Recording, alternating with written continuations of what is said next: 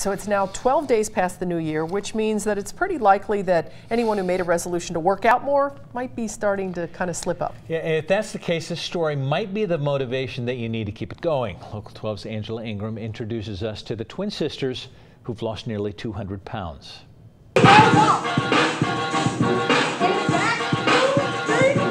If the two in the front row look awfully similar, it's because they're identical twins, Chariah and Mariah Jones of the West End. Hey, up, up, out. Now you repeat that twice, okay? They're usually at their dance studio teaching dance or fitness. Most of the adults in these classes are parents of the kids in their dance company.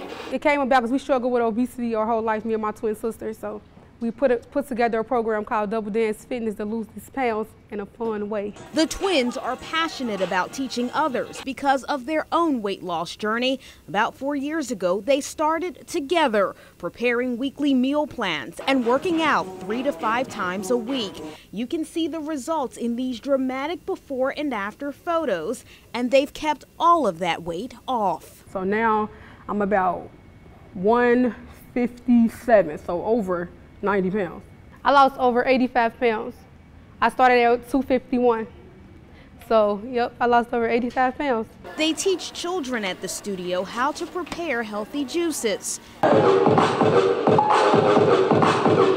Part of their motivation for losing weight are the kids who the 26 year olds teach. Many look up to the twins as role models. For us to be able to actually like lose that much weight is very, very it's something like, I feel like we successful. We like basically conquered something that we always wanted to do. They've had their ups and downs along the way, but they were born with a partner, and their partner keeps them motivated to win. So I won't let her out, outshine me, so we got to shine together.